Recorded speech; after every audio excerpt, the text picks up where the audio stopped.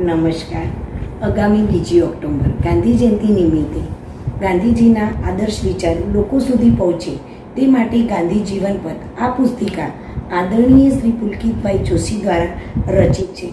તેમાં ગાંધીજીના અનેક જીવન પ્રસંગો આપેલા છે. તેમાંથી એક પ્રેરક પ્રસંગ હું તમારી સમક્ષ રજૂ કરું છું. તેનું નામ છે ગીતાનું રહસ્ય. એક ભાઈ એક દિવસ બાપુ પાસે ગીતાનું રહસ્ય સમજવા માટે આવ્યા. ત્યારે બાપુએ કહ્યું કે જો પેલા ખૂણામાં ઈંટો પડી છે, તે તારે રોજ આવવાનું અને રોજે રોજ તે ઈંટો ગણી નાખવાની.